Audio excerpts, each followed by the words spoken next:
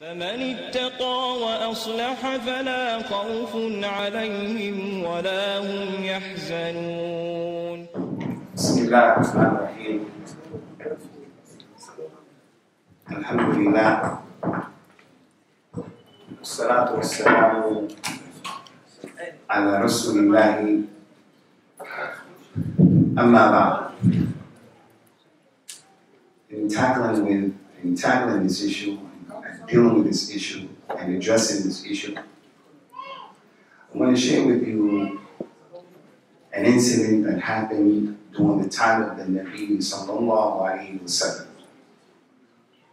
Allah sent Rasulullah sallallahu alayhi wa sallam and it's responsibility of each and every Muslim man and woman to read about these issues so that we can draw and extract from these issues and these incidents and these occurrences fiqh, fiqh, fiqh, fiqh in the religion. Companion of the Prophet sallallahu alayhi wa ala alihi wa sallam Muawiyah ibn Abi Sufyan radiyallahu anhuma and we love Muawiyah. He is the uncle of every Muslim who is here. And that's because his sister was married to the Prophet sallallahu alaihi wasallam. And Allah said about all of the wives of Rasulullah sallallahu alaihi wasallam, النبي أولى بالمؤمنين من أنفسهم وأزواجه أمهاتهم. The Nabi is closer to the believers than their own selves. Part of what that means my children, my children, my wife, your children, your wives, Rasulullah wasallam was more concerned for them than we are. He was more concerned for us than we are ourselves. And ayah said that his wives are their mothers. Aisha is the mother of the believers. And his wife, Umm Habiba, she's the mother of the believers. So Muawiyah is the brother to one of the wives of the Prophet Sallallahu Alaihi Wasallam, so he's the Khal al-Mu'mineen. But he narrated in the hadith, من يريد الله به خيرا يفقهه في الدين. If Allah wants good for a person, He'll give him comprehension of the religion. He'll understand the religion. You understand the opposite of that. The opposite of that is if Allah doesn't want good for someone, he won't teach him the religion. It'll be like the Jew, the Christian, the Sikh, the Hindu, as it relates to their religion. It'll be like the Kufar Quraysh as it relates to their religion. Kufar Quraysh didn't know what they were doing. I don't know. I found my mother and my father, they were doing this, so I'm doing it. So we don't want to be those types of people. We want to get knowledge of the religion. Knowledge of the religion doesn't mean you have to memorize all of the Quran. It doesn't mean you have to memorize all of Sahih Bukhari. But it means you have enough knowledge about your religion that you're worshiping Allah in a way that when you're raised up Yom Qiyamah, you're able to pass the test. Or even before that, when you get put in your grave and the two angels, Munkar and Nakir, come and they say to you, Who is your Lord? What was your religion? And what did you have to say about that man who came? Some people, when you say, Who is your Lord? The answer is, Allah is my Lord. Allah is my Lord. And yet that person makes dua to other than Allah. What is your religion? He'll say, Islam is my religion, but he doesn't pray. What did you have to say about that man who came? Sallallahu Alaihi Wasallam. What did you have to say? Some people will say he's Hazir Nazir. Some people will say he didn't die. Some people will say he has the knowledge of the unseen. You don't want to be like that. Because when Munkar and Nakir, as the Prophet said, pay attention. When it comes to the kafir or the munafiq, they come, they say, Who is your Lord? He'll say, Ha ha, I don't know. What was your religion? He said, Ha ha, I don't know. What do you have to say about that man who came to you? The man will say, the munafiq. I heard the people saying something, so I said the same thing. I heard his name, Muhammad. My mother, my father, they said Muhammad. In the masjid, it had Ya Allah, Ya Muhammad. In my house, there was a picture, Allah, another picture, Muhammad. But I don't know what he looked like, what he did, what was his sunnah, how was his haqq upon, I don't know. Prophet Muhammad said, when that happens, sallallahu those two angels are going to hit him in the back of his head with an iron pipe. He's going to scream out in anguish. And they'll say to him, Ma late for ma. You didn't read, so you didn't know. You didn't read means you didn't educate yourself. And reading doesn't necessarily mean getting a book and read, because some of the Arabs during the time of the Prophet they couldn't read, they couldn't write. But they used to go, they used to learn this religion by listening. And they used to learn this religion by practicing. So the point here is these issues, things that happened during his life, the incidents, the occurrences that happened over 23 years. If people who follow ISIS knew and understood the Sirah and the Sunnah, no way in the world would they do the things that they're doing. Because they have filth of the religion. Many of us, we don't have to travel to ISIS, Boko Haram, Qaeda. We don't have to travel that far right here in every masjid, in every masjid. If we knew about the history, the seerah, we knew about that, we'll get light that will allow us to be balanced in our worship, balanced in our existence, in our love and our hate. So in dealing with this issue, inshallah, I thought there were going to be a lot of young people here, but I see the majority of the people are older, so I'm going to change what I wanted to talk about, but it's still addressing the same issue. Youth be guardians of your deen. This hadith was collected by Imam al-Bukhari, rahmatullahi alayhi, and the narrator of the hadith and the incident is none other than that illustrious companion, the Imam of the Muhaddithin, he was from the most knowledgeable of the companions. He had a lot of virtues. He used to stick to the sunnah, sallallahu alaihi wasallam, even if it caused him hardship, the hardship of being hungry. He would stay hungry in order to stick to the sunnah, sallallahu alaihi wasallam. And that's Abu Hurairah. That was Abu Hurairah.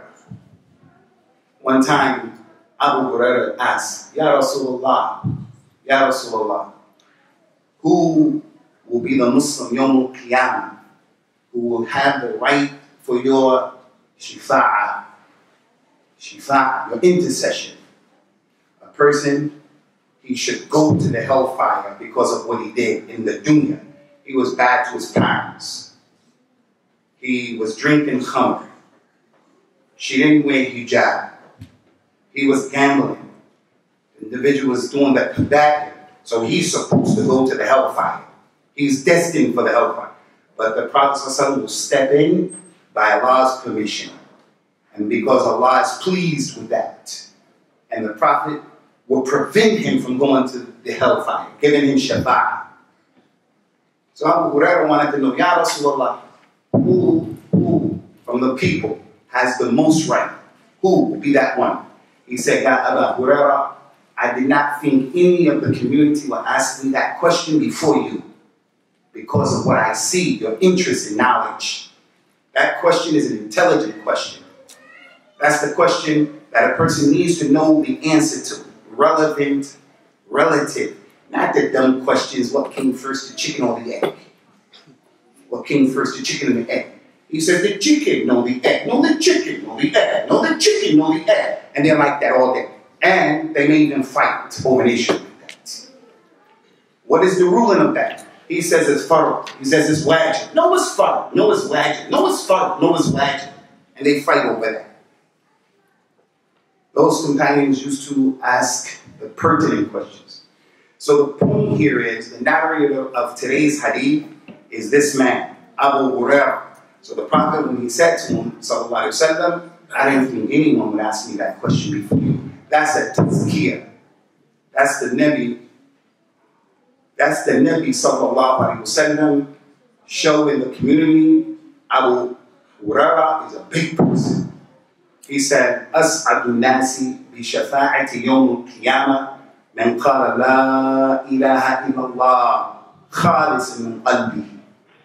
The one who has the most right for me to get involved, to save him from the hellfire.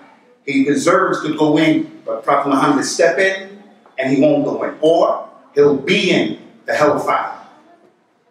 And he should be in there for more time, but Rasulullah will step in and he'll come out. So which person has the most right to that shafa'ah? He said the one who says La ilaha illallah with ikhlas. He understands it. A lot of people say La ilaha illallah, but they say Ya Allah, Ya Muhammad. A lot of people say La ilaha illallah, but they don't understand it. A lot of people say La ilaha illallah, but if a person comes and talks about a tawheed, the importance of the tawheed, and staying away from shirk, that person will be against them. But he said La ilaha illallah. In this hadith of today, Abu Hurairah said that the companions were sent out to the desert. They were sent out to the desert because it was a hostile environment at that time, about the sixth year after the Hijrah. So there were still problems where the kuffar may come and attack Al Medina. So the Prophet was a person, sallallahu alayhi wa who used to tie his camel. He used to make an ittikhad bil asbab. He didn't throw caution to the wind. He took precautions.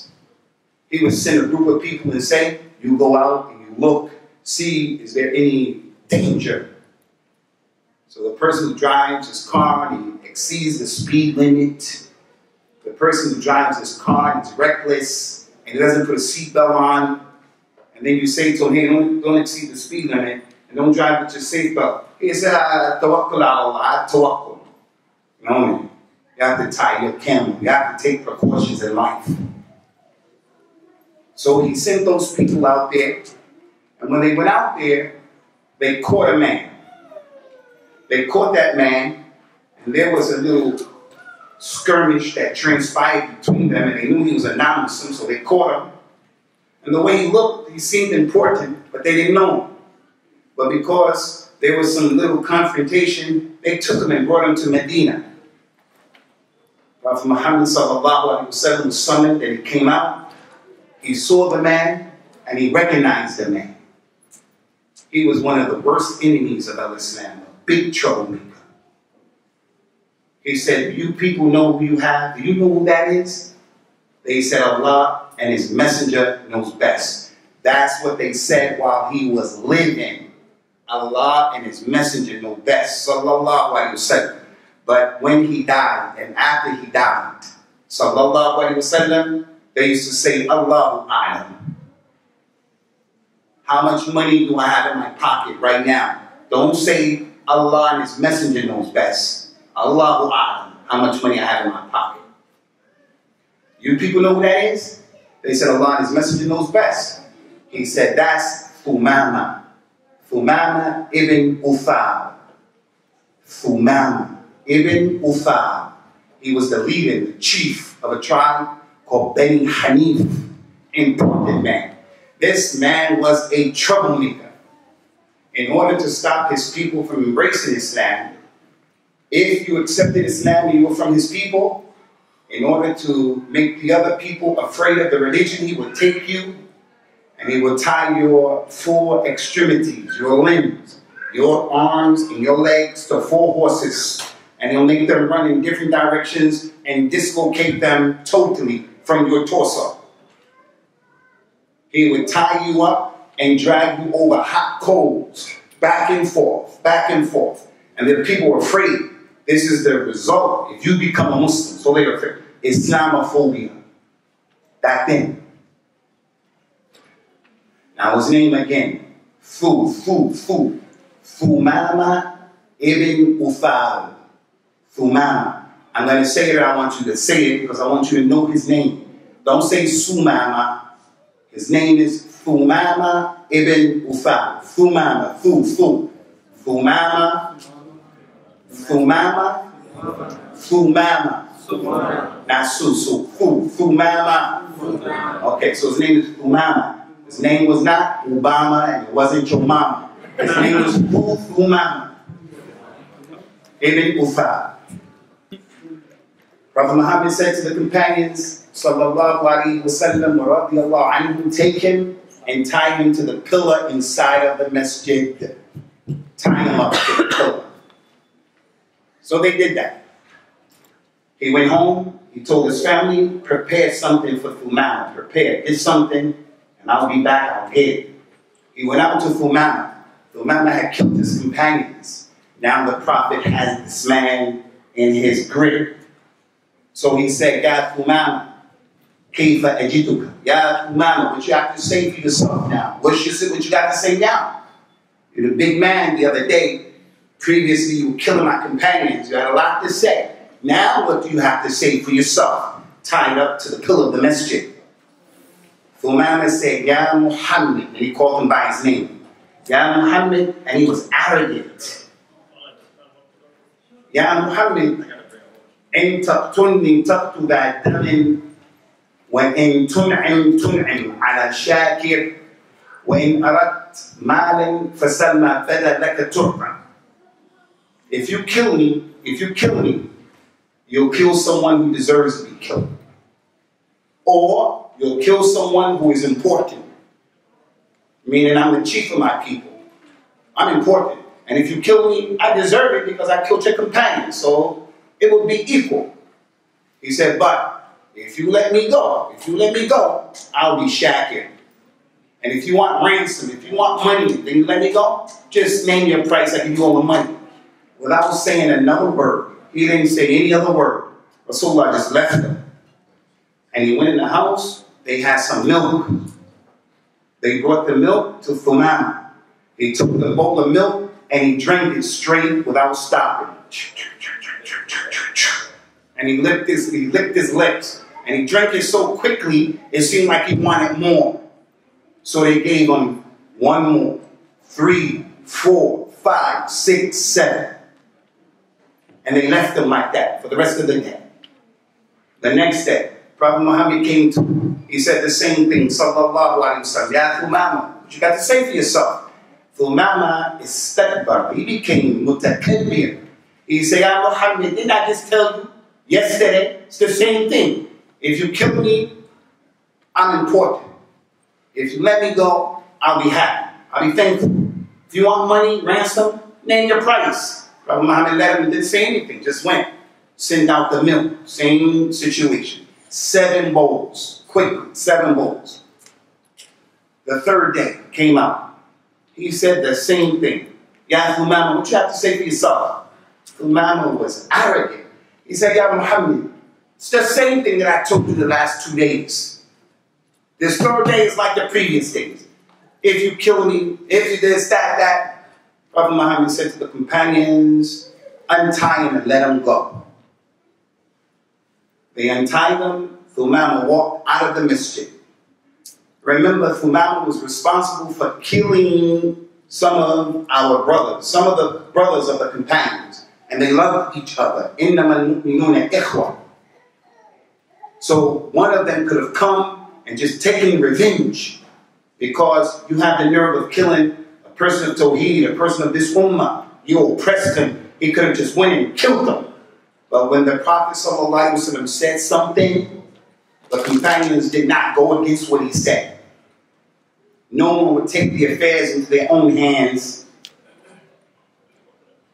so when the Muslims justify, they justify, our brothers are being oppressed in Afghanistan, our brothers are being oppressed in Pakistan, drone missiles go and bomb schools and kill innocent people. It's a tragedy. America has no right to put itself up as being the moral compass for the world. Our brothers are being killed in Iraq and Syria. They're being killed in Palestine, massacred. As a Muslim, killing my brothers. Now, do I have the right to go and kill innocent non-Muslims? Do I have the right to go and kill even the person who's responsible for it and just take the law into my own hands? Companions were not like that. Because the Quran and the Sunnah said, don't do that. And the person wouldn't make justification. They're doing this to me, we're going to do that back. So they watched Thumama and he left the masjid. After some time, Thumama came back into the masjid and his lihya. Thumama was a non-Muslim and he had a beard. His lihya was dripping water. And he had water in his clothes. And it was clear he had taken a ghusl because he was wet. You could see it. The companions watched him come through. He walked up to Prophet Muhammad and he said, Ashadu an la ilaha illallah Muhammadan abduhu wa rasuluh. When he said that, the people didn't say takbir, Allahu Akbar, takbir. They didn't say that. The Imam went on to say, Ya Rasulullah. Just a few minutes, the previous days, he was saying, Ya Muhammad, Ya Muhammad. Now he said, Ya Rasulullah. There was never a face that I hated more than your face. But today your face is the most beloved face to me. Ya Rasulullah. There was never a city that I hated more than Al Medina. Now Al Medina is more beloved to me. And when the Prophet was quiet, when he said that, some of the scholars say this is a proof that Medina is better than Mecca. Because if it was wrong, Rasulullah said, don't say that. He said, Ya Rasulullah, there was never a deen that I hated more than your deen. But today, your deen is the best, most beloved deen to me. Prophet Muhammad said, sit down, sit down. They said, he said, bring something, bring something for Thumam, bring something. They brought him a bowl of milk. Rasulullah sallallahu gave the bowl of milk to Thumam. Thumama began to drink, and when he drank, he drank three small sips. He said, Bismillah, and he drank three small sips, and he passed it on. He didn't drink seven. He didn't finish that. Rasulullah started smiling. And the companions, anytime, anytime, the Prophet would move this way, if he smiled this way, if he did something differently, they would ask, Ya Rasulullah, what makes you smile? They want to know about the Sunnah. They want to know about their religion. They want to know. Today, the Muslim, you know, ah, there's no questions to learn about the religion. So the little subtle movements, Ya Rasulullah, what makes you smile? He told them, verily, the believer, Thumama, today, he drinks for one intestine, for one stomach. And the kafir, the kafir, or the munafiq, he drinks for seven. Seven. After they drank, Thumama said, Ya Rasulullah, before my brothers from your cavalry caught me, I was on my way to Mecca to perform Umrah. Because the Kuffar Quraysh, they used to perform Umrah. Allah said in the Quran about the Kuffar Quraysh, وَمَا كَانَ صَلَاتُهُمْ عِنْدَ الْبَيْتِ إِلَّا مُكَاءٌ وَتَصْدِيًا Their prayer at the Kaaba was nothing but clapping hands and whistling, which goes to show the Muslims who whistle and clap and dance, this is not ibadah in Islam. So when they used to make tawaf and they made shirk with Allah, that's what this ayah is talking about. Tawaf is salat here. Prophet Muhammad said, Sallallahu Alaihi Wasallam, the tawaf is salat, and Allah, Allah allowed you to speak in it. So only say what's good. So you can walk around the Kaaba with your wife, for an example. You've been married so many years, your first time going to the Kaaba, you take her by the hand, you say, Wallahi, I appreciate the children that you gave me. Wallahi, I'm sorry for what I've done. Wallahi, I love you. You can say things like that. You can tell people, hey, put your ihram over your shoulder or whatever. You can give advice. And you can talk. So Allah said that their salat, their tawaf, it was nothing but clapping hands and whistling. Because they were making shirk with Allah, like the Christians when I used to go to church. We used to tell our mother early in the morning when she was preparing us, we were getting ready to go to church on Sunday, especially the African American church. In the white church, the white people just sit very still like this It's kind of like really spooky, to be honest with you. They don't move. But the black church, oh, they be, they be doing it. So they do, they get, they get this thing called the Holy Ghost.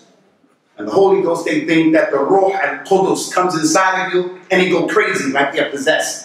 We to say to our mother-in-law, don't embarrass us in this church. Because if they if she gets the Holy Ghost, the next day, Monday in school, your kids, your friends will say, all right, your mother got the Holy Ghost, your mother got the, and then there's a fight. So we to say to our mother, Ma, don't embarrass us with that Holy Ghost stuff. Their salat, their ibadah is nothing but whistling and clapping hands. Ya Rasulullah, was going to perform Umrah before my brothers caught me. What should I do? Can I go? I was a Catholic, now I'm a Muslim. How do I change my niyyah? Eh, what's the deal? You want to know about your religion before you put your foot down. You have to know what you're doing. Rasulullah told him, sallallahu alayhi wa go ahead, go and make your umrah and finish it. Al-Islam. Al-Islam wiped away all your sins. Now you're going as a brand spanking new Muslim. He traveled and he went to Mecca. Before he arrived in Mecca, and during that time, to travel from Medina to Mecca on a horse on a camel, it takes almost a month, two, three to four weeks. So the news of his reversion, his conversion, it reached Mecca before he even got there. When he got there, the leaders of Mecca, Kufar Quraysh, Abu Lahab, Abu Jahl, Umayyah ibn Khalaf, those people, they said, hey, Thumama, we heard you change your religion. We heard you change your religion. So the false propaganda like they have right now, Islam is a religion of terrorism, the Muslim woman is oppressed. You know the things they say about our religion, false propaganda. It was present back then, just like Islamophobia was present back then. They were trying to make Thumama afraid, like blowing on him. We heard you became, you changed your religion. They wanted him to apologize, like some Muslims apologize about aspects of our religion. We start apologizing. We feel embarrassed about some things of our religion because it's different from the American system, the European system, many things like marrying your cousin. Oh, that's incest. Yeah, that's not incest. What are you talking about? I'm not saying that a person has to marry his cousin or he can't marry his cousin, but it's permissible in Islam. But in this society, that's bad. Like my cousins, I have a few cousins who embrace Islam. About seven of them. One girl and one boy. They wanted to get married to each other when it came to Islam. They have respect for me. I said, no way. No way, Jose. Not because it's haram.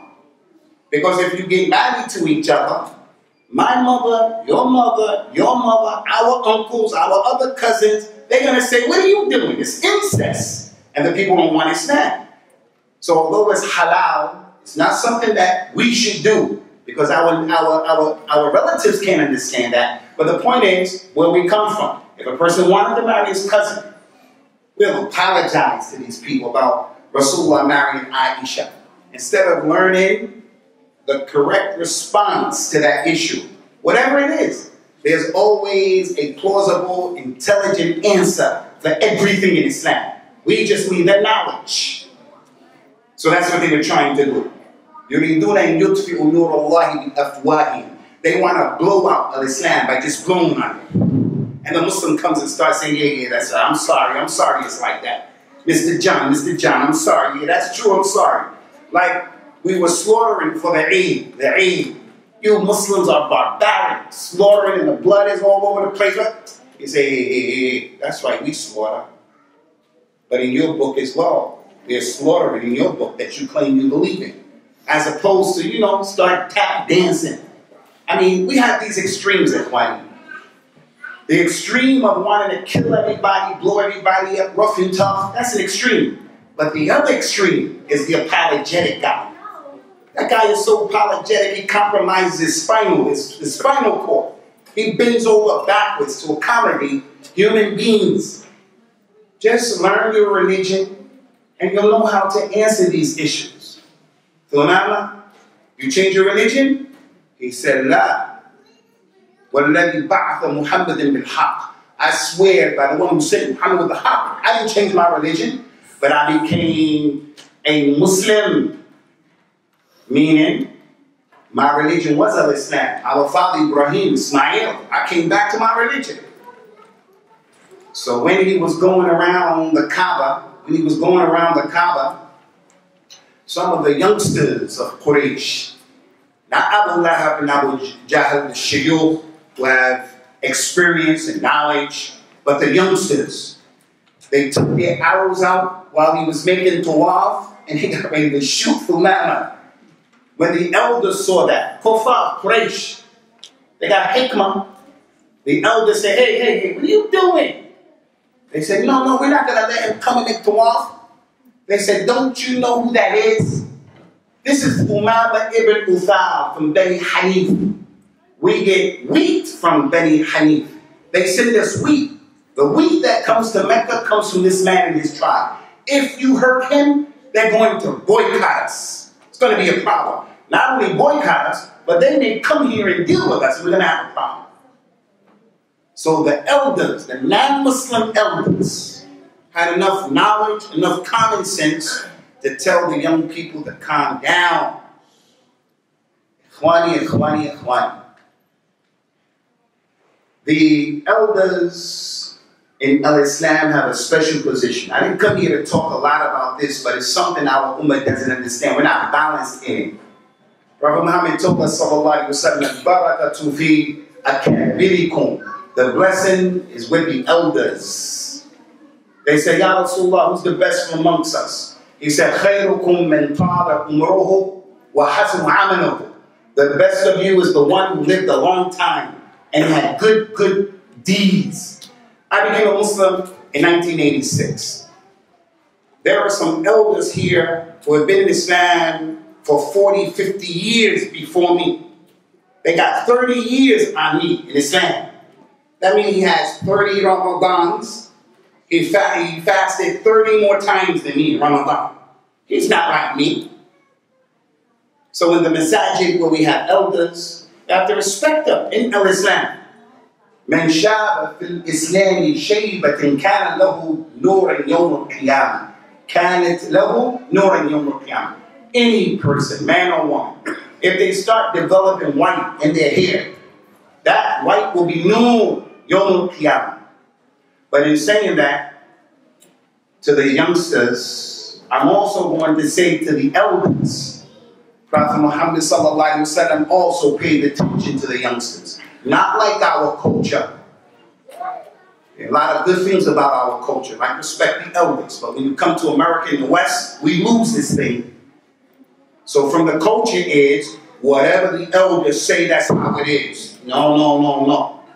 These kids today, 2016, 1,437 years after the Hijrah, these kids have access to knowledge right now that you didn't have access to. They're exposed to knowledge of the deen. When I came into this religion in 1986, the translation of the Quran that was available was Yusuf Ali. Yusuf Ali. And that translation is a problem. The things that he says in the commentary. The books that we had back then, they had khurafat and shirk, kufr. But now in 2016, a person can learn how to pray the way the prophet prayed. He can fast the way the prophet fasted, the way he made Hajj, Umrah. Exactly, not just out any book. So now our elders, our elders, you can't look at these kids like they don't know anything. So there has to be a balance. I say the elders have the upper hand. They're like the generals, they're like the leaders, they have the upper hand.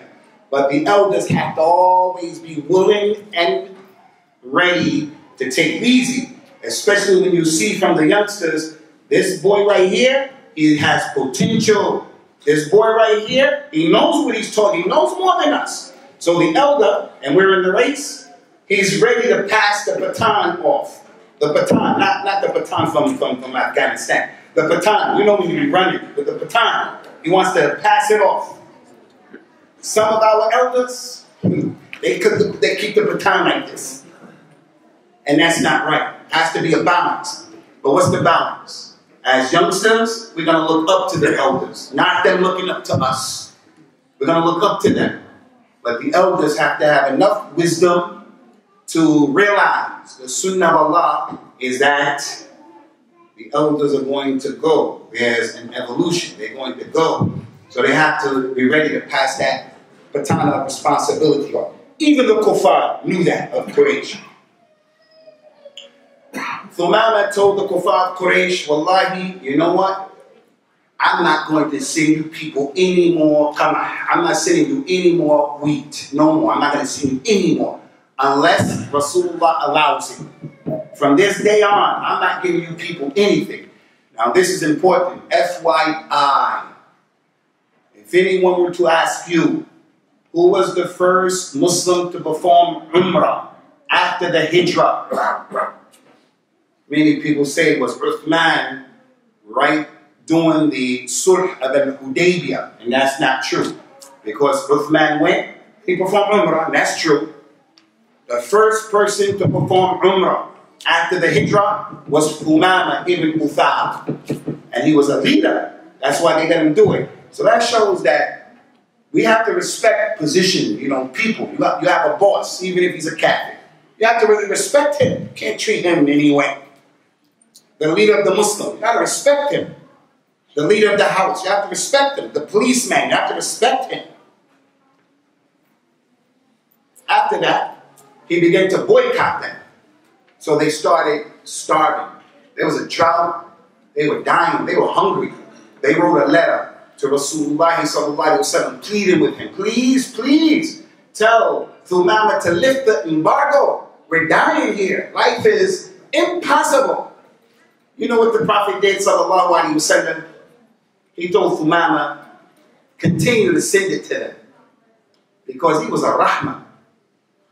He could have killed Thumama if he wanted to. You know that lie of Islam spread by the sword? What do you mean by that? Do you mean that the companions went out and they fought against the people who tried to stop Islam? Then the answer is Allahumma na'am. Islam spread. That's it spread like that. They were protecting Islam, defending Islam. The people broke their contracts from Beni Qurayza, Beni Qaynuqa. They broke the contract. Kufar Quraysh came and they were fighting. The Battle of Badr. Yes, Islam spread with the sword. If you mean that, that when the people were giving them problems, the Muslims defended themselves, defended their religion, defended their city.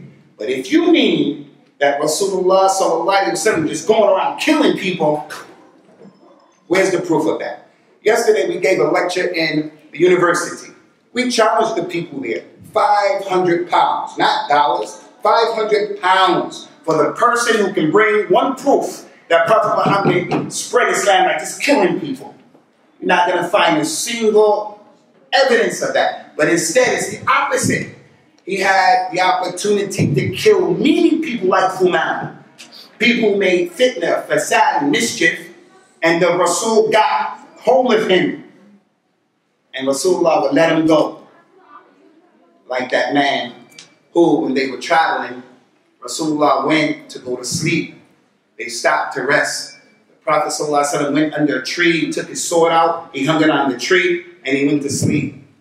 When he woke up and he opened his eyes, there was a Bedouin man who was standing over him. The Bedouin man snuck up, took his sword out of the sheath, and put the sword to his neck. So the Prophet woke up, he felt it on his neck.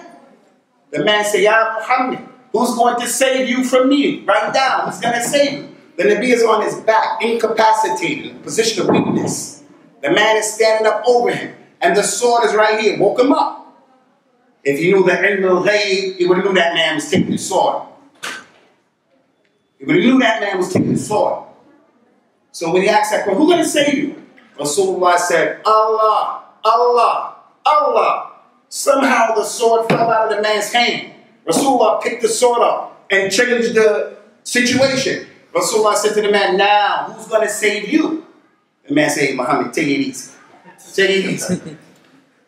Rasulullah said, do you bear witness to La ilaha illallah Muhammad Rasulullah? The man said, no. But I swear by Allah, I won't fight you anymore. Rasulullah could have killed him because he was going to kill Rasulullah. Could have killed him. the Nabi let him go. The man went to his people told his people what happened. The people embraced Islam. Now, if he would have killed him right then and there, and he deserved to be killed, but there would be no more good, not on the level that it came. That comes from the hikmah of the Nabi sallallahu alaihi wasallam. He was a man that was hakim, not like the people today, Ikhwani. Charlie Hebdo, that is not hikmah to deal with that situation like that. The things that we do, it just makes things more difficult. I travel here from the UK. You know, the culture of traveling has changed because of Muslims for the most part. Now, when you travel, you have to take your shoes off. Now, when you travel, you can't travel with this in your hand. Now, when you travel, have to stand in front of that thing and it x rays your body and it can see the contours of your wife. That came as a result of a lot of Muslims misbehaving in trying to spread the religion in the wrong way, in the crazy way. So if Prophet Muhammad would have killed Thumama, Thumama's people wouldn't have become Muslim because when he went back to his place, all of his people became Muslim. All of them, the whole tribe. And it just strengthened Al-Islam. Islam was going from strength to strength, year after year, year after year. So when the Prophet ﷺ told the Thumama, give them the food, more people of Quraysh became Muslims because of the rahmah and the mu'amah. That's the hadith in Sahih Bukhari. Just go and Google it and just put in Thumama. Don't put in Sumama. Put in Thumama, and the story is going to come on. And I'm hoping that someone here is going to be encouraged. Your wife is pregnant right now you're going to name your baby Thumama after this man.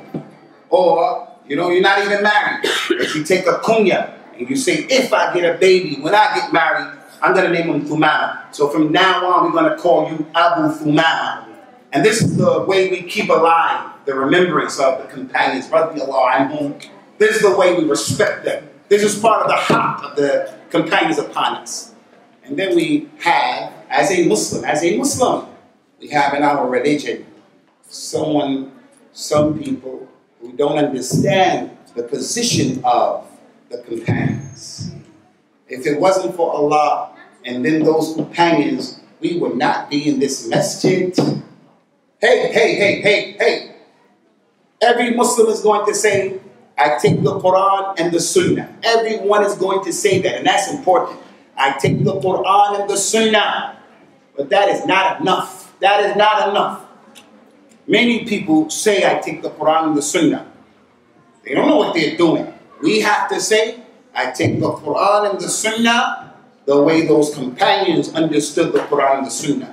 When Rasulullah used to pray Salat, Sallallahu Alaihi Wasallam, like just now we prayed, we prayed Salat al-Maghrib. And the Imam read some important ayat from the Quran. They are uh, ayat that have some virtues. Virtues. Whoever reads those two ayat those two ayahs in the morning, they'll be they will suffice you for the rest of the day. Whoever reads at night, they'll suffice you for the rest of the night. When the companions prayed behind the Nabi, they would be in the line and they're hearing the Quran, and they would say to themselves, Yes, this ayah was revealed when we went to Tabuk. Yes, yes, this incident is talking about what happened with Abu Bakr and his family. Yes, yes. And they would read, they would hear these ayats and the recitation. Not like us. When we hear the Quran, some of us, we don't know what's being said. Even if you're an Arab, it's not going to affect you the way it affected those companions because they're on another level. The Quran and the Sunnah, the way the companions understood it. Now, concerning this hadith, we want to mention a few things very quickly, inshallah. Benefits from the hadith, fiqh of the hadith. And there are a lot, a lot. At the top of the list, the first thing I want to mention is this hadith. Ikhwani goes to show the importance of hikmah. Hikmah is such an important word in Al-Islam that every single language of Muslims use the word hikmah. The word hikmah is in the language of the Afghans. In Arabic, it's hikmah. Pakistani, Bangladeshis. The new revert he knows the word hikmah. Everybody in this masjid knows the word hikmah. Everybody. Everybody. It's one of those important words. Rasulullah had hikmah, sallallahu alayhi wa Many times people translate hikmah as being wisdom, and it is that. It is wisdom. But they gave other definitions for hikmah. The scholars like Abdullah ibn Abbas, he said hikmah is having understanding of the Quran. And Imam al-Suddi said hikmah is knowing your religion. But the real good meaning of hikmah is وَضْعُ شَيْءٍ فِي مَحَلِّهِ الْمُنَاسِبِ Putting things in their proper places. Hikmah. When you become a person who knows when to be tough and when to be soft, you have hikmah. We're going to talk to the elder in a particular way, and we'll talk to the youngster in another way. If I'm talking to the elder with disrespect, that's not hikmah. If I'm being rough and tough in a situation where I should be soft, that's not hikmah. Killing people like Charlie Hebdo, he said, this is not hikmah. It's not hikmah. Sometimes hikmah necessitates you speak, and sometimes hikmah necessitates don't say anything. It's better not to speak. The lady gets into an argument with her husband. Hikmah tells her, don't say anything. Just keep quiet. Don't say anything. Because if you say something back, it's going to escalate and it'll lead to a divorce, for an example. So this ayah shows how the Prophet had hikmah sallallahu alayhi wa sallam. يؤتي الحكمة من يشاء ومن أوتي الحكمة فقد أوتي خير كثيرا. Allah gives hikmah, barakallahu feek, little man. Allah gives hikmah to whoever He wants, and whoever gets it, He has a lot of a lot of good. Putting things in the proper place. Hey guys, Ikhwan, Allah knew what He was doing. He is Al Hakim. So when Allah, when Allah made in His religion the ahkam of Al Islam, the ahkam, Allah knew what He was doing. It was hikmah. When He allowed the man, for example, to have four wives, Allah knew what He was doing. When Allah chose the Quran to be in Arabic and the Arabs to be the leaders of Al Islam, Allah knew what He was doing. So the Muslims should never say things like he's upset with aspects of the religion. He has a problem with aspects of the religion. All of the ahkam. Maybe a person says, well, as far as I'm concerned, I don't want a man who's already married. I, I, I don't really want him to marry my daughter because there could be problems. But I'm not going to say, ah, I don't like, I don't like poor marriage. I don't like it. Can't say that. Allah knew what He was doing. He knows what He is doing. So never have a problem with any aspect of Islam. Any aspect of Islam. So we had hikmah. Look at this. You know some of the companions had money. Abdurrahman ibn Auf, Abu Talha from the Ansar, Uthman ibn Affan, Abdurrahman ibn Auf had a lot of money. Rasulullah could have said to those rich people, hey, give me a donation. I'm going to build like a house for the captives. I'll put it in there. He put him in the masjid for the hikmah. Not killing Thumama, hikmah. Why did he put Thumama in the masjid? It's another benefit. When he put Thumama in the masjid, the hikmah from that was Rasulullah taught us something really important. Hey, we have to buy into this, we have to understand this. This hadith and this incident shows us that actions, actions, they speak louder than words. Put your hand up if you did not hear what I just said. This hadith shows actions, they speak louder than words. Words are important, they are important. I have to say to my children, I have to say to them, I love you. I love you. I can't be on the minhaj and the methodology of my father because where he came from in the deep south, if you were crying, they would say, be a man and don't cry. No, men cry. Rasul likes to cry. Abu Bakr used to cry. Men used to cry. Companions to cry. We cry in Ramadan and other than that. So sometimes some of us have fathers when we were growing up, they never grabbed us and hugged us. They never grabbed us and said, hey son, I love you or you because he thinks there's something wrong with that. No, you have to say that to your son. You have to say that to your wife. speech is important. The man came, his name is Abdullah bin Sufyan. He came and he said, Ya Rasulullah, tell me something that I only can ask of you, you in Islam. He says, Sallallahu Alaihi Wasallam, Qul, Qul, Amantu billahi thumma Say, say, I believe in Allah, and then be upright, do the actions. So you have to say, you have to say, but don't just say without any actions, because actions speak louder than words. I tell my mother all day, Ma, I love you, I love you, I love you, but I'm giving her a hard time. Like some of our youngsters. You're giving me a hard time. Do you know the kind of sacrifices I made for you? As the mother, as the father. I broke my back for you, for your future. All I want you to do is take advantage of the opportunity. But instead, the kid is a knucklehead. And he says to his wife, I love you, I love you, I love you. But he's doing all these things. Actions speak louder than words. The proof of that. Rasulullah sallallahu for three days, all he said to Thumama was, what you got to say for yourself? He didn't tell him about the five arkan of Islam. He didn't tell him about the six arkan of al-Iman. He didn't tell him about the three categories of the Tawheed, the important three categories of Tawheed. He didn't explain that stuff. All he said, three days. Hey, what you got to say to yourself? He said what he said. Rasulullah left them. Left them to what? Left them to watch the Tao of the companions. He started looking at the companions. Three days. If he was in the masjid Sunday, Monday, Tuesday, if he was in the masjid Wednesday, Thursday, Friday, whatever those three days were, he saw those messages coming, the companions coming. And he learned a lot of stuff just sitting there. How did Thumama know? Before being a Muslim, Ya Muhammad, Ya Muhammad. But as soon as he became a Muslim, he stopped calling him that. He said, Ya Rasulullah, because he saw that's what the companions did. And why did the companions do that? Because Allah told us to do that. ولا تجعلوا دعاءكم بينكم. ولا تجعلوا دعاءكم بينكم.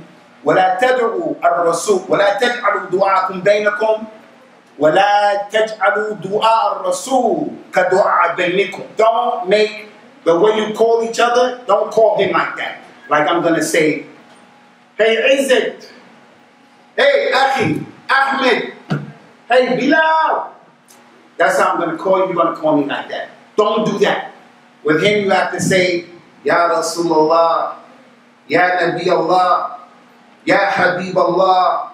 Re respect لا ترفعوا أصواتكم فوق صوت النبي Don't raise your voice over his voice.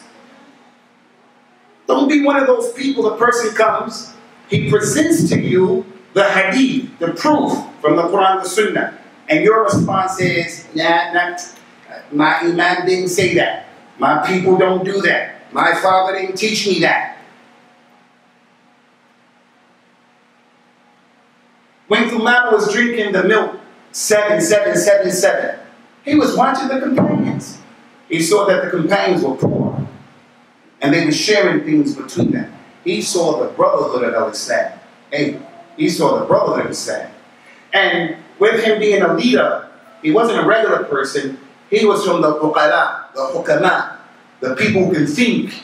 He wasn't a follower. He was a leader. And the Prophet knew that. If this man becomes a Muslim, he'll have an effect and an impact on his people.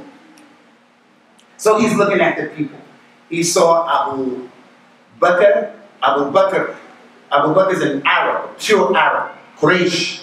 Abu Bakr was the brother to Salman al-Farisi. Salman came all the way from Persia, another group of people. The two of them, they were the brothers to Suhaib al-Rumi. Suhaib came from Rome. Rome, another place. The three of them, they were the brothers to Bilal ibn Rabah. Bilal came from Ethiopia, four different complete groups of people. And the four of them, they were the brothers to Abdullah ibn Salam. He used to be a Jew, a Yahudi. He became Islam, a Muslim. Allah said about the Yahud, لتجدن أشد الناس عداوة للذين آمنوا اليهود والذين أشركوا. You'll find that people hating the Muslims and Islam more than anyone else, the Jews and the mushrikun. That's in the Quran. But when those people became Muslims, they were brothers. So man is looking at this and he knows the society in Quraysh was racist. Mecca, Medina, it was built upon an asabiya. Bilal in the morning at Fajr time. Just imagine this. Hey guys, this is not a story, Ikhwani, like Rumpelstiltskin, Goldilocks and the Seven Wolves. This is not one of those stories. Shrek This is not a story. This is real life. Thumama, a leader of his people, he's an Arab. He thinks he's better than me and you. If he saw us, we're slaves in his eyes.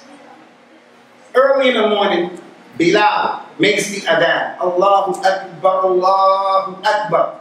He wakes up. And he must say to himself, what in the world this black man is getting early up in the morning like this, making all of this noise? If he did that where we come from, we'd cut his head off, making that noise early in the morning. But that wasn't the response of the Arabs now. The response was they came to the masjid in droves, and he's watching this.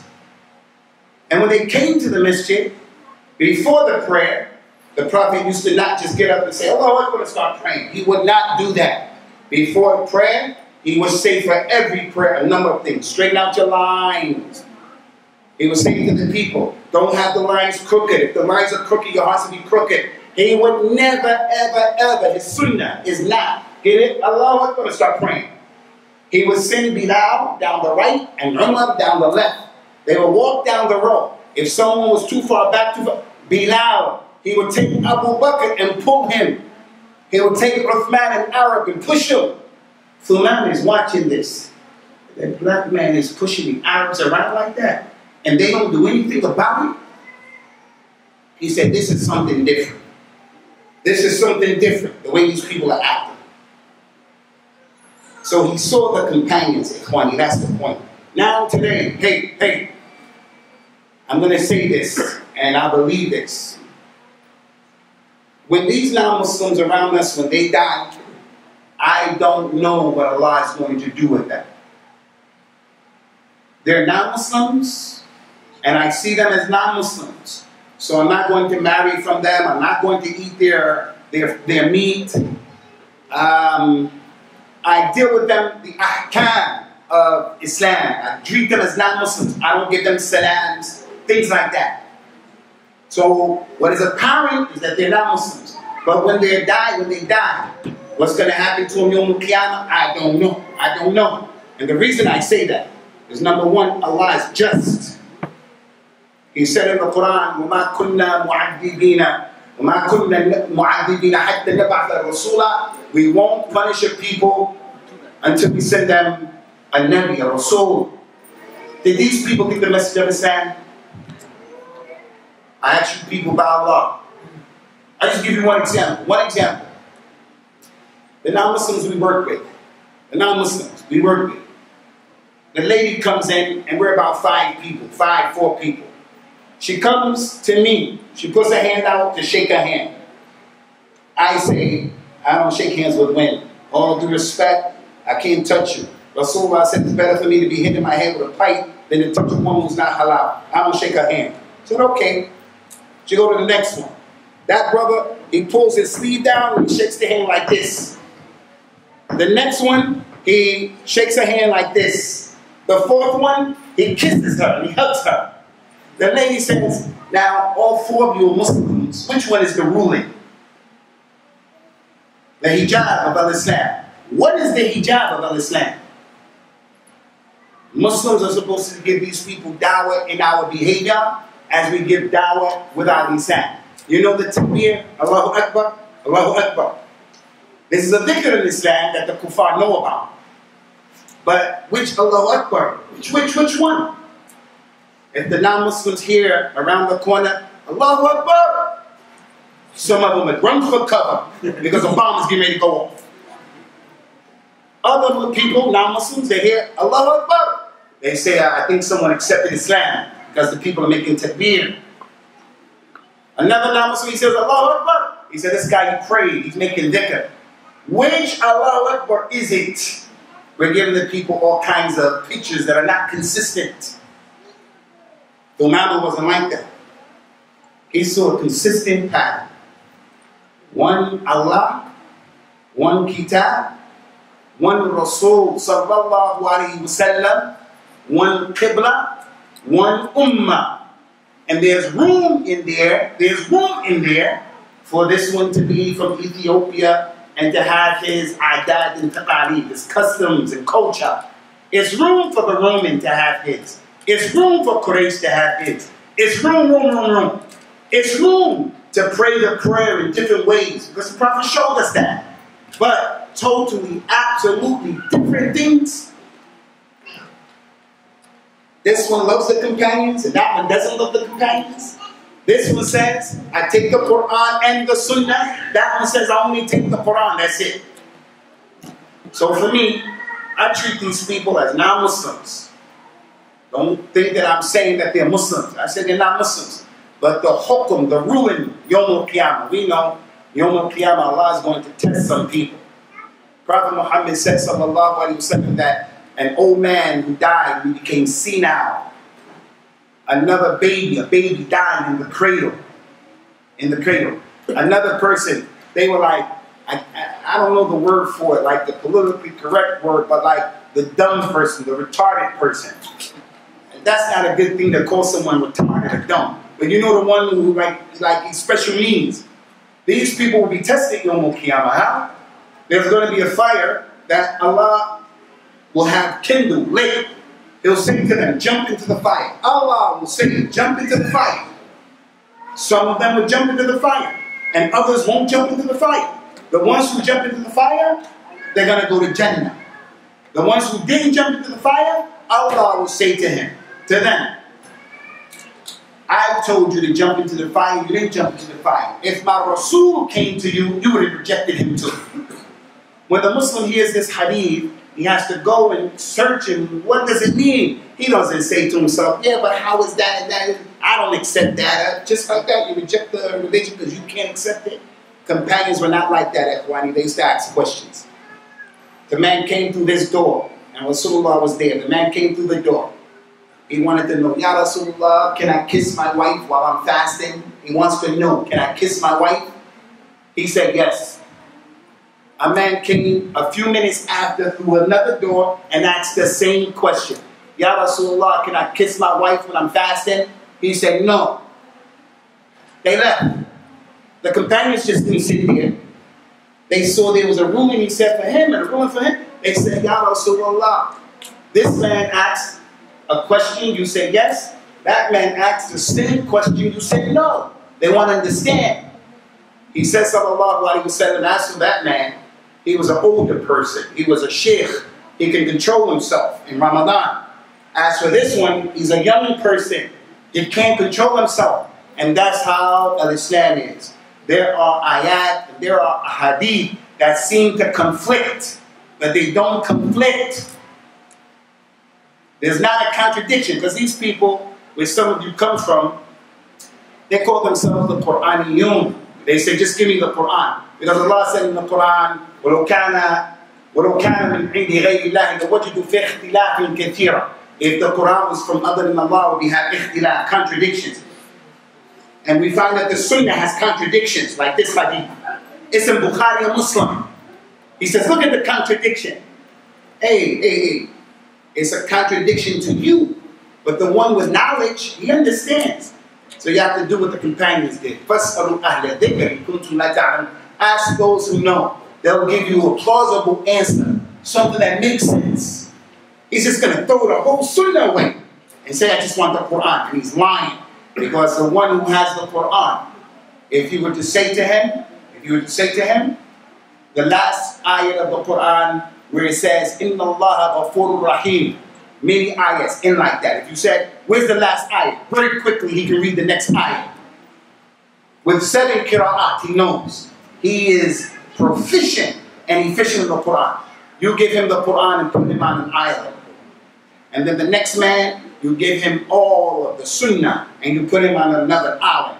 that man is going to practice Islam better than that man. وَأَنزَلْنَا إِلَيْكَ الذِّكْرَ لِتُبَيِّنَ لِلنَّاسِ مَا نُزِّلَ إِلَيْهِمْ We reveal to you this Quran, Ya Muhammad, so that your sunnah can explain it. How are you going to fast in Ramadan? How are you going to pray Jummah? How are you going to get married? How are you going to get divorced? All of these details. The sunnah. So anyway, the point, the point, the point is that actions speak louder than words.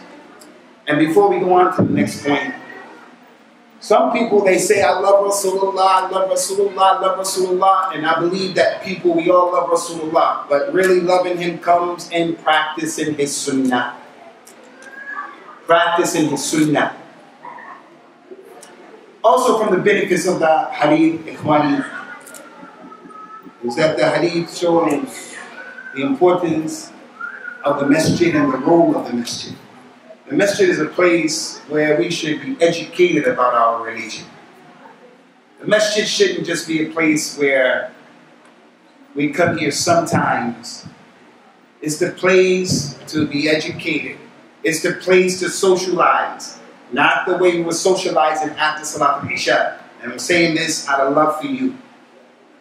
There were people praying the Sunnah prayer, and many, most of the people finished. There was one brother still praying. And we started talking, talking, talking. It was loud. There are ahkam in the masjid, things to do, things you shouldn't do. It's the house of Allah. The companions, they knew this kind of stuff. So what would they do? If a man wanted to borrow money from another man, they would go to the masjid and the exchange would happen. Not buying and selling.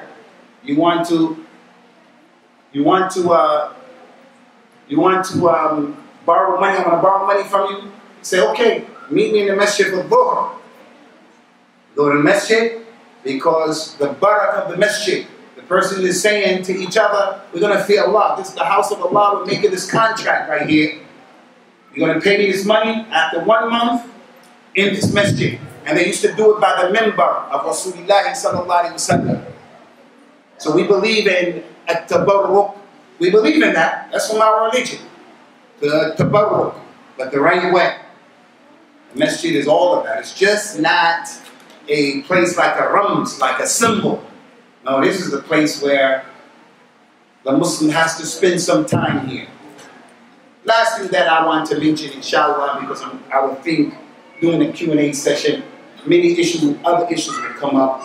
But the last thing that I want to mention, amongst the many other benefits, and this is really important, did you see how Thumama radiallahu anhu, did you people see how Thumama, when he became a Muslim, he used his resources, he used his prestige, he used his position, his authority to help the religion. He went up there, and as a Muslim, he used his position to say, I'm the leader of these people, so as a result of that, you're not getting anything else. You're making an embargo. That's what the Muslim has to do. If he's a plumber, if he's an electrician, if he's a lawyer, if he's a teacher, whatever he happens to be, he has to bring his skill to the masjid. I don't say you give the masjid or you oblige to give the masjid your services free of charge. If you did it free of charge, for being with ni'mah, that's good. But give the masjid a, a break. Give it to them high price. Give it to them where they don't have to pay right away. The man is a politician. We don't want to vote for any knucklehead. I might as well not vote. Just because he's a Muslim, I'm going to vote for him. And I'm not telling anybody to vote, and I'm not telling you not to vote. I live in the UK. I live in the UK. There's a Muslim, he's the mayor of the UK. Should we vote for him? Yeah, we're going to vote for him because he's a Muslim. What did he do for us lately? What did he do for Islam? He's doing all kind of crazy stuff. Crazy stuff. So if he is a councilman, he's on the board of education, He has to use that position to help the Muslims and help Al-Islam. إن الله اشترى من المؤمنين أنفسهم وأموالهم بأن لهم الجنة. Allah purchased from the believers their selves and their money. And they, in return, will get Al-Jannah. So whatever you do, Ahi, whatever you do, whatever you do, you do not even have a skill. You drive a truck, for an example, and I don't say you don't have a skill, but a person who has, he just transports sick people to the hospital. That's his job. How does he help the masjid? He helps the masjid when he gets his check at the end of the week or whenever he gets it, he gives a portion of his earnings to the masjid. And we don't have this today the way the companions had. Allah, those companions, Ikhwani, I can't speak enough about the debt of gratitude that we all owe to them. This religion, Quran and Sunnah, no, no, you have to add on to that. Understanding the Quran and the Sunnah the way those companions did. Abu Bakr and Umar and Uthman and Ali and Kash and Bilal and the rest of them, they were from the awliya of Allah. And the only people that are better than them are the prophets and the messengers. The prophets and the messengers are better than the companions. But after the prophets and the messengers, the companions are the best human beings in the world. So those are some of the benefits of this hadith and the way that we connect it to the topic, O youth, be guardians, be guardians of the religion the youth and the elders, the men and the women, the Arabs and the non-Arabs, all of us the guardians of the deen. How are we guardians of the deen? How? How? The guard, the guard at the door, the security guard. The security guard is going to say, while I'm working at this bank, while I'm working at this store, I'm not going to let anybody rob the bank. I'm not going to let anybody rob the store. I'm going to be awake and I'm on guard. I'm going to guard. The way we guard this religion is that we learn this religion. We learn this religion. And again, you don't have to memorize the Quran. I'm not saying that. You don't have to be the one who gives the khutbah on Friday. I'm not saying that. The khutbah on the Eid. I'm not saying that. But know enough about your religion that you know what you're doing. Because you may be doing something that you think is the religion, but it's not the religion, and people are watching you will get the wrong understanding of, of Islam because of your behavior. Because of your behavior. So let us be guardians, inshallah, in the way that is pleasing to Allah. So we're going to stop here, and I appreciate the fact that you brothers would allow me to come into this mission in the first place to give dawah to Allah, not to myself, not to my imam, not to my sheikh, a dawah is to Allah. To Allah. Dawah shouldn't be to my sheikh. Dawah to my madhab. My madhab, I'm going to follow my madhab because it is a systematic way of worshiping Allah, of being a Muslim.